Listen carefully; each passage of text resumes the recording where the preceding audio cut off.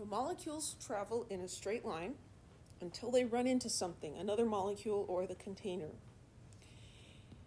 So if we look at the average distance that a molecule can travel between collisions, that's called the mean free path. Mean, kind of like average, free path. How far does it go before it hits something? It's free path. The mean free path will decrease as the pressure increases. There's more collisions. It's not going to be able to travel as far. If nitrogen was the size of a golf ball, it would travel about 40 feet between collisions. So it'd go about 40 feet, bump into something, go another 40 feet before it runs into anything else. And this helps us to visualize what's going on. Where is the other end of that? Well, we'll just start here. So this guy travels in a straight line, bounces and hits something, bounces off, hits this particle, goes up here, hits another particle, another particle, another particle, another particle, another particle.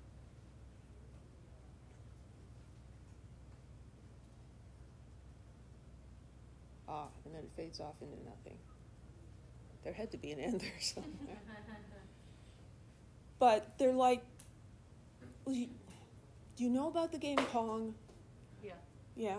Okay, the original video game, right?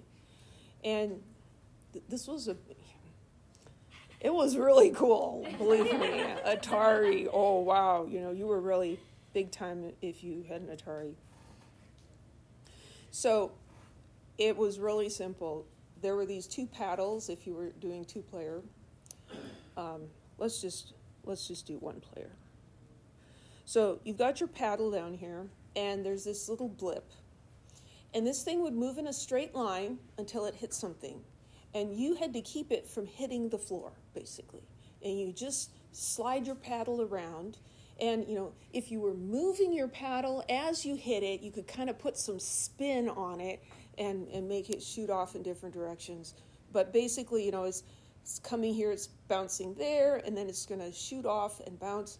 And it never stops. Thankfully, it never sped up either, but it just kept going, right? Until you dropped it. You let it hit the floor. That's what this is like. I envision this as a three dimensional Pong game where there is no floor, it's just all sides, and you've got multiple blips, right? That's what gases are doing.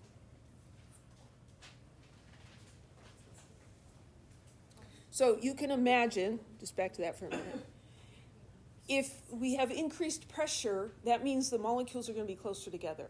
So we could increase the pressure on this by cutting the volume in half, squishing all of those guys together. It makes sense they're going to run into each other more frequently. So the distance they can travel before they collide is going to be less. So here are two terms diffusion and effusion. Diffusion is the process by which gas molecules spread from an area of high concentration to low concentration.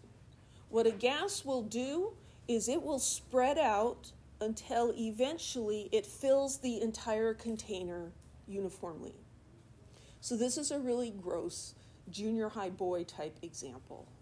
So we've got a visitor to the classroom standing up here and they fart, right? And it's stinky, right? I'm going to smell it first after the, you know, he who smelt it dealt it.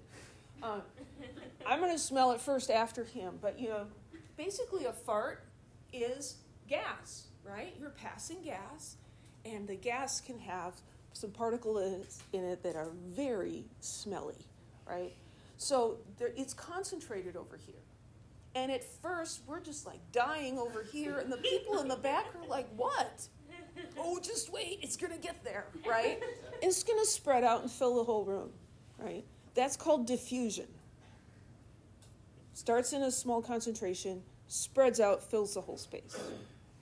Heavy particles diffuse more slowly because at the same temperature, they have a lower velocity, right?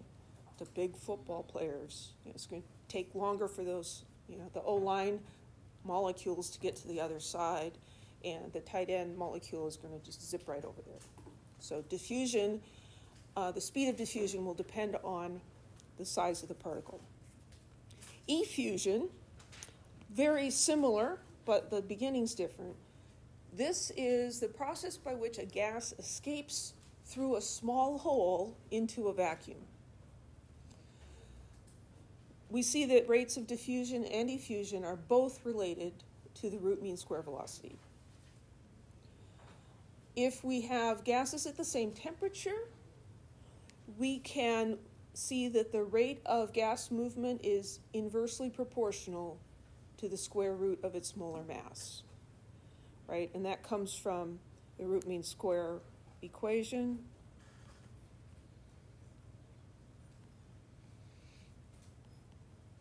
So here's the molar mass in the denominator, and it's the square root of that.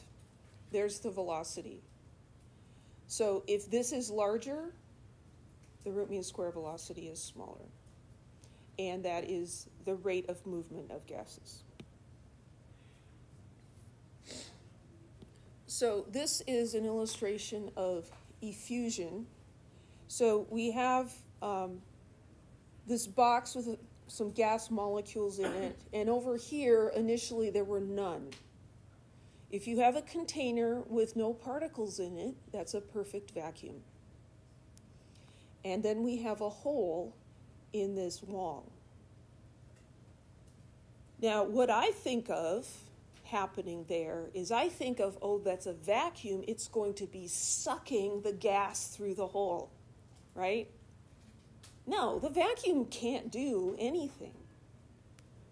What happens is these guys are just going to zing around like, you know, the three dimensional Pong game until one happens to hit the little hole and go through.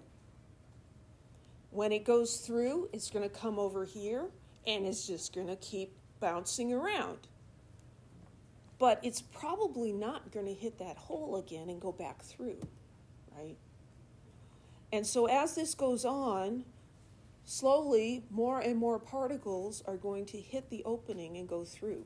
Eventually, you'll have the same number of particles, equal pressure on each side, because as the concentration of particles builds up over here, you have a bigger chance of one hitting the hole and going back, right? So, effusion is how fast the gas moves into the vacuum. That's going to depend on how fast the individual particles are moving, right? So, Graham's law of effusion says that the rate of one gas effusing to the rate of the other, this ratio, is equal to their molar masses in an inverse relationship. So, the rate of A to the rate of B is equal to the square root of the mass of B to the mass of A. So helium escapes from a balloon faster than air because helium atoms are smaller. And so at the same temperature, they're moving faster. It's not the size of the particle, it's how fast they're moving.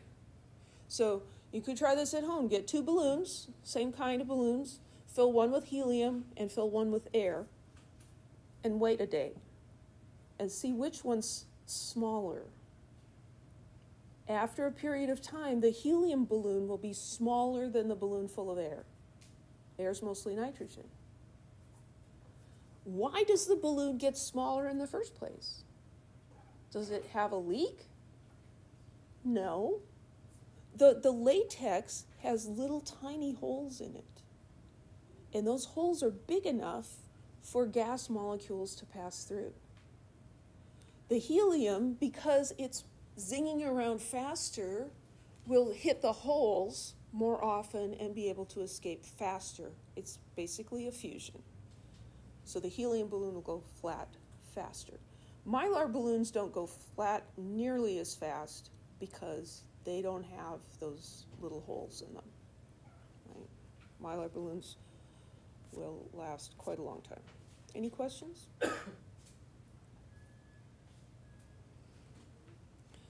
so here's an example of a Graham's law of effusion problem.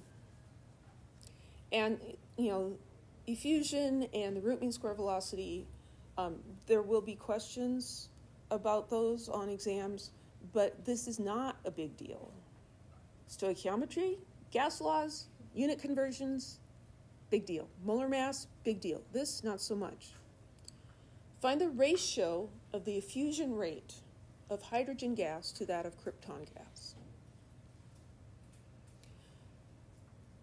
So hydrogen, and it matters here, hydrogen is H2 because it's one of the diatomic elements. And here's krypton. Krypton is not a diatomic element, it's a noble gas. So the rate of effusion, um, and it's, it's asking us for hydrogen to krypton. So the rate of hydrogen is on the top, and the rate of krypton is on the bottom. That's going to equal the square root of, now the molar masses will be upside down. The molar mass of krypton on top, the molar mass of hydrogen on the bottom.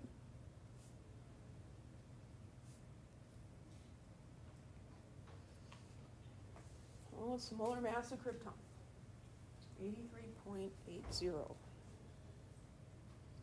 83.80 grams per mole. And hydrogen H2 is 2.016 grams per mole, square root of that.